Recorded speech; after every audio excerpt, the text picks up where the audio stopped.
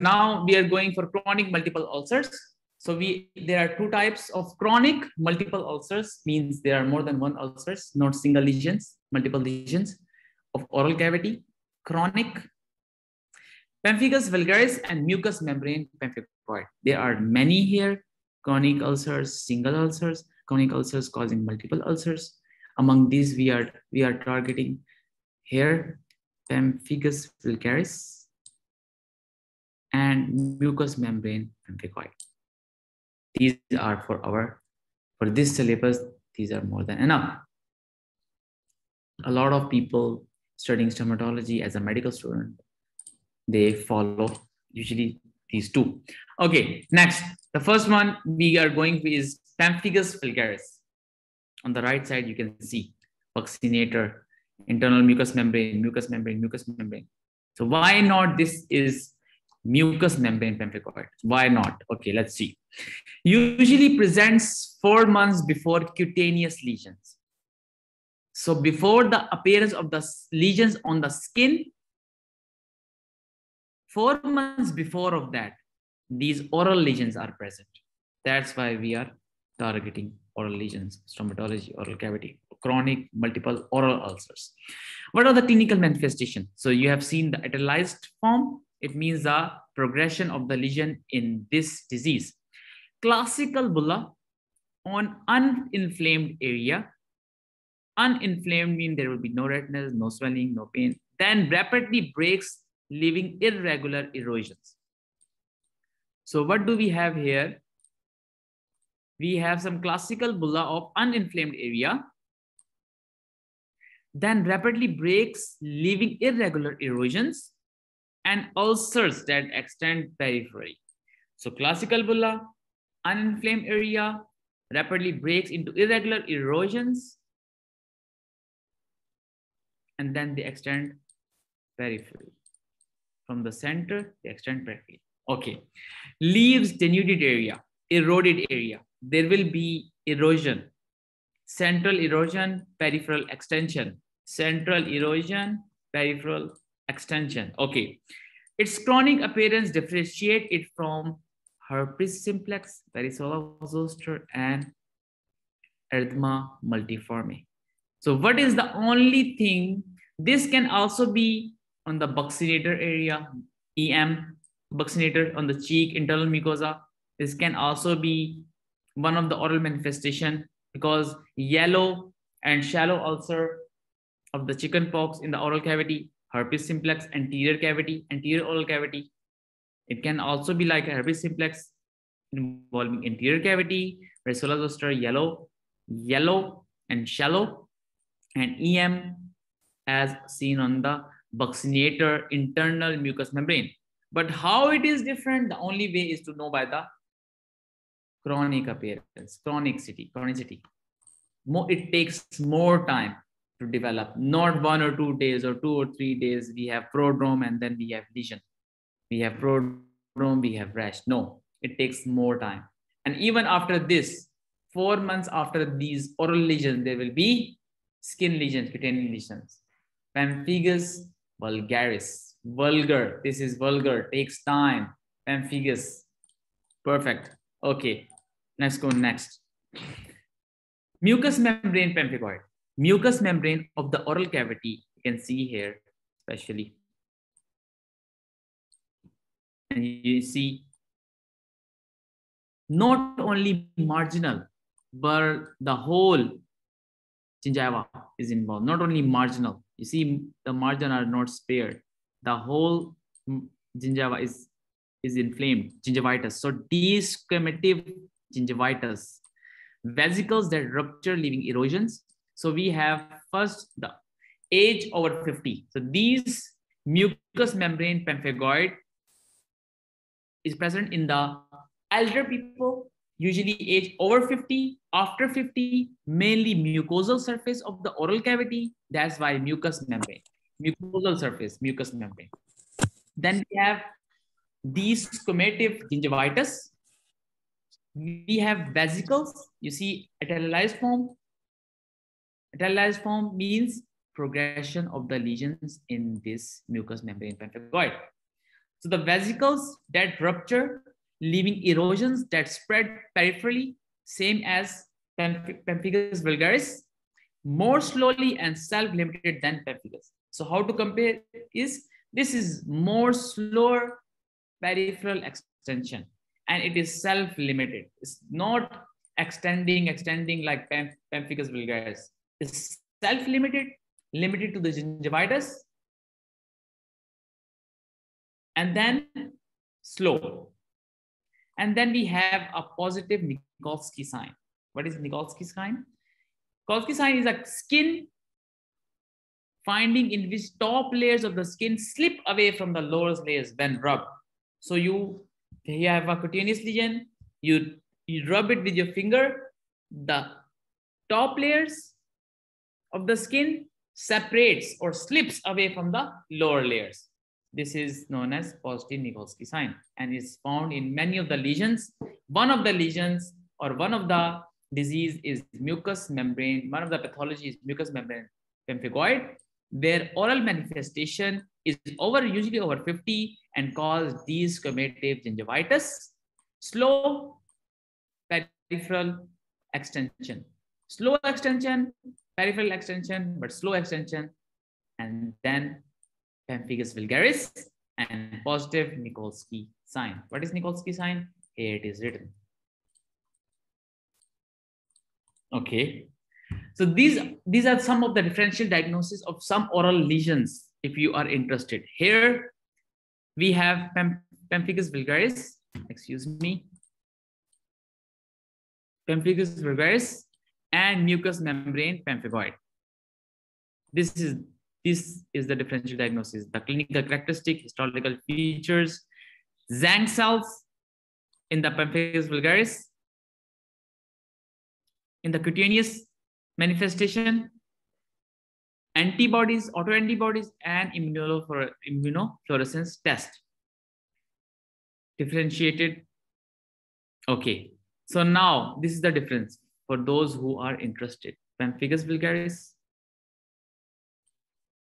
mucous membrane pemphigoid. More towards the desquamative gingivitis, but also goes here slower than pemphigus vulgaris, whereas both are chronic in nature. Chronic mouth ulcers. Okay. The detail in the previous slides, the, the, the detail we, study, we studied here was more than enough. If you want to remember, you can just have a look at these, compare them, then you can remember them. Now, the third part of oral ulcers basically after multiple ulcers we have recurrent oral ulcers. So multiple ulcers they were acute and chronic and now we have recurrent oral ulcers. In recurrent oral ulcers we will study three. Recurrent aphthous ulcers excuse me. We'll study recurrent aphthous ulcers Behçet's disease and recurrent herpes simplex Okay, recurrent aphthous ulcers, stomatitis, also known as aphthous ulcers. Okay, let's start with the first one. So we have aphthous ulcers, Behçet's disease, and recurrent herpes simplex. Aphthous ulcers. What are aphthous ulcers? The cause is idiopathic, not well understood, maybe immune mediated. So one of the theory is cell mediated immunity occurs in the oral mucosa, which leads to the increase of T cells, chemokines, and macrophages releasing interferon gamma and tumor necrosis factor alpha, leading to these aphthous ulcer. What are background? These are known as canker sores, canker sores. Small, painful ulcers, idiopathic, just will appear on your lips or oral cavity, internal lips, and form a non-keratinized oral mucosa all of us once in a lifetime must have experienced oral ulcers, idiopathic, usually aphthous ulcer. Inner lip, where are they found? They are found in inner lips, cheeks, soft palate, floor of mouth, gingiva, and tongue, gingiva. Affects 20% of population. So if we are 100, at least 20, right? if we are 80 maybe more than 25% or 25 students have experienced this. So 20% of the population experience this. Okay. Then we have sign and symptoms. What are sign and symptoms? These are pinpoint papule gradually expands, well circumscribed, round, oval, yellow gray, pseudomonas, pseudomembranous center, inflammatory red halo. So how to remember is actually they are, excuse me, okay, let me show you how. So what happens is we have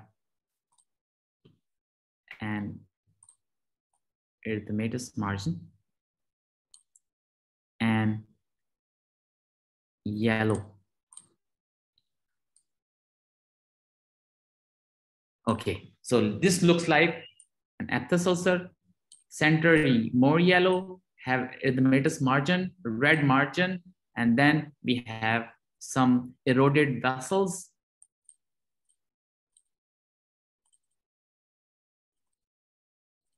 Okay, so we have aphthous ulcer. Perfect. So what these are known as canker sores. They are small, painful, round, well circumscribed, oval yellow gray center, pseudomembranous center. Red halo means the surrounding area is red, red halo. Yeah, red shadow, red periphery. Types, we have minor, we have major, we have herpetiform. Minor is less than one centimeter. Major is two to three centimeter. Herpetiform mean multiple small multiple small. And if you see, they have zoomed one of it, shown the multiple. So one of these looks like the small ones, but they are small in, they are smaller than minor, but they are multiple in number, herpetiform. If they are one and less than one centimeter, or there are two or three separately present, less than one centimeter, minor. If one is bigger, major aphthous ulcer, minus aphthous ulcer major aphthous. Herpetiform means small multiple, like clusters, making a cluster. Causes weakened immune system. As here we say it is idiopathic, and then one of the theory is cell mediated, and this was the idiopathogenesis. Certain foods can initiate. Increased stress can cause aphthous ulcer. Nutritional deficiency can cause aphthous ulcer. Treatment. We have stress, many stress. You think certain foods can cause aphthous ulcers, you recognize the food which caused you aphthous ulcer, and then you get a healthy diet, avoid that food. And then you take care of the oral hygiene so that you don't have a weakened immune system. Perfect. We try to remember as much of the aphthous ulcer we can. Now we go towards the recurrent type of the aphthous ulcer, which comes again and again. Recurrent aphthous ulcer or recurrent aphthous stomatitis mostly begins during the second decade, second decade of the age, 11 to 20. Prodrome, we have prodrome. Prodrome from 2 to 48 hours before an ulcer appears burning sensation. So what happens is we have a prodrome and prodrome is from 2 to 48 hours.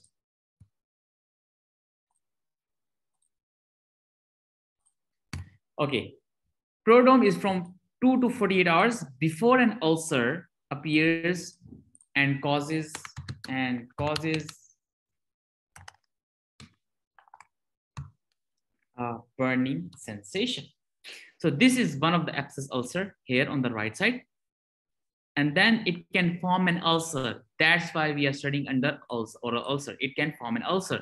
And if it is recurrent coming back again and again, then it becomes recurrent oral ulcer. There will be localized erythema. Erythema means redness. Localized means around this periphery. Localized erythema, then small white papule, which finally ulcerate. So there will be localized erythema then a small white papule will appear, a swelling, a papule more than elevated above the skin. And then finally, there will be ulcer. That's why aphthous ulcer. And then there will be ulcer. You will have a burning sensation. Whatever you eat, you have you have spicy thing you have oily thing it will stick to that ulcer and cause you a burning sensation a disturbance not preceded by vesicles so these papules will not become vesicles because they will not contain fluid they will not retain fluid they are uniform almost well circumscribed round uniform rounded painful covered by a yellowish membrane. When this yellowish membrane rupture, they will form an ulcer known as aphthous ulcer. And if it is recurrent, coming back again and again, recurrent aphthous ulcer. This is almost like one centimeter. If it is around one centimeter or less than one centimeter, minor aphthous ulcer, more than one centimeter, like two to three centimeter, major aphthous ulcer no tissue remnants or borders. There are no tissue remnants borders. It's uniform, it's well-rounded, covered by yellow, yellowish membrane. When, when the yellowish membrane is removed, it changes into ulcer, surrounded by erythematous margins, mainly on lining mucosa, rare or keratinized mucosa. So where there is lining mucous membrane, rarely on the outer side of the ribs, lips, majorly on the inner side or the oral mucosa on the mucosa. So now this was minor aphthous. This was minor aphthous, the clinical features. Now major aphthous, in the picture there was two to three centimeter, but they say more than one to five centimeters. So we have more than one centimeter to five centimeter. Okay. So appears on keratinized and non-keratinized mucosa. So we can also add here, usually, so that you can remember, usually two to three centimeter, because in more of the literature, two to three centimeter is for major aphthous. Appears on keratinized, unlike, unlike minor, unlike minor, they do not appear on keratinized. They rarely appear on keratinized, but major aphthous appears on keratinized and non-keratinized mucosa both. Can appear on keratinized and non-keratinized both. Indurated base, everted edges, like a proper ulcer, you know, proper ulcer, very painful. And when it heals, it leaves a scar. So here we have irregular, not round, like not round. It is not round like minor ulcer, uh, aphthous ulcer, minor aphthous is not round, absolutely round. It is irregular, not uniform. It is more painful. It has everted edges. It will leave a scar after healing. Takes more than a month to heal. Oh my God, you have to cover this, right? It's so painful. More than, takes more than a month to Least common the third one is herpetiform ulcer, which is least common here, here, here. Dozens or hundreds of ulcers, about one to two millimeter in size. One to two millimeter mean one tenth of a centimeter. So if one centimeter is minor aphthous, so in that one tenth, one tenth part of this will be one millimeter. So one tenth to two tenth part of the minor ulcer is one to two millimeter. So they are, this means they are small, pinpoint, pin-headed, remember, and they found in the groups and there are dozens and hundreds of these ulcers. Very painful and, and surrounded by a erythematous halo, erythematous shadow, peripheral, peripheral erythema is found, redness is found. You see this is yellow area and then surrounded by redness yeah? These redness help us to spot there is a problem. These red area help us to spot there is a problem. Okay. So okay.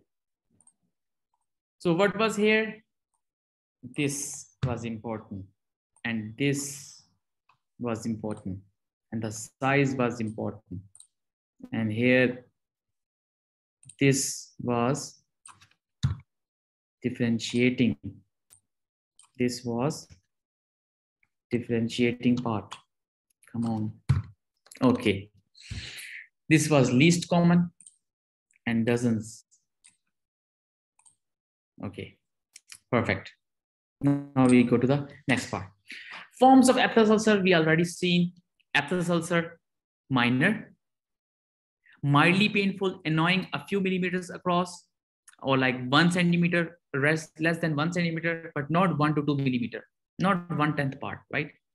Heals within seven to two day, 10 days of scarring, no scarring. Heals in 10 to seven days. These minor aphthous ulcer heal in 10, seven to 10 days, no scarring because scarring was in the major. Major were big enough, irregular enough to cause a scar after healing because this one was healed after 30 days. So let's see how to compare. These are mildly painful, minor ones. Minor are mild, mildly painful, major are more painful. They are few millimeters, less than one centimeter. They are more than one centimeter, usually two to three centimeter. They occur frequently. They reoccur usually, but because they are reoccurrent, reoccurring, so both, both of them are recurrent, recurrence. And then these are seven to two days healing, seven to 10 days healing. They are 10 to one month, one month, few days, one month. They do will not cause scarring. They will they can cause scar, and they can reoccur up to three to four times a year. Minor aphthous ulcer we're talking about.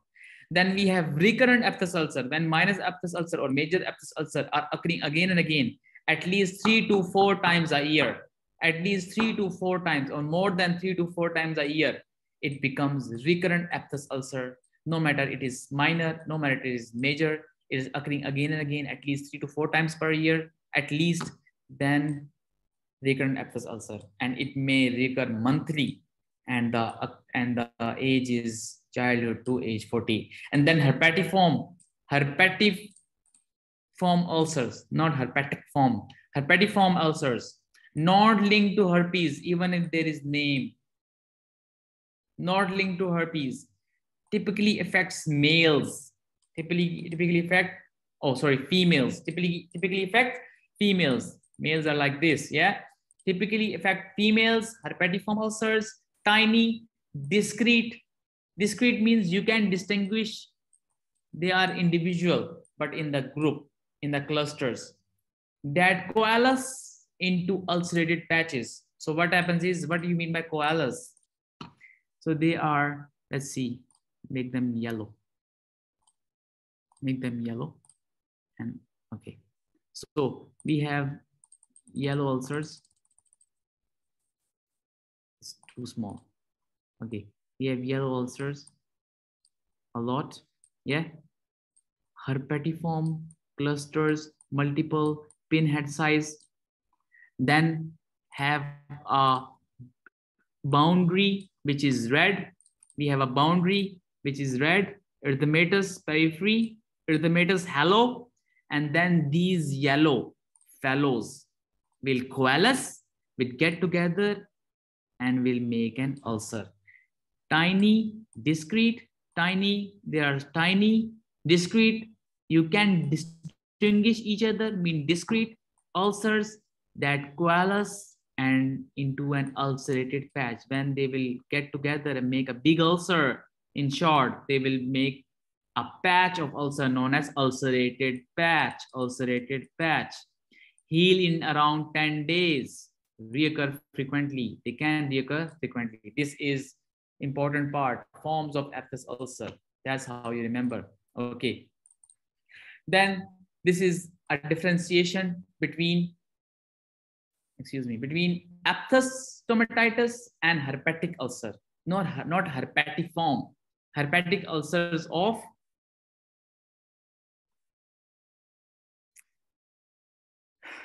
aphthous ulcer. We have here, you can see erythematous macule. Oh, let's just change it to blue. Okay. So aphthous stomatitis or aphthous ulcer and herpetic ulcer. We have erythematous macule followed by a yellowish membrane cover. And when this yellow membrane remove, there will be an ulcer and there is a surrounding red area known as erythematous halo, erythematous shadow. But these herpetic ulcers are dome shaped, dome shaped vesicles, fluid containing. So dome shaped vesicles are okay. Shallow, discrete, round ulcer. You need to remember. You, you focus your brain. Okay, location, non-keratinized mucosa, aphthous ulcer, non-keratinized.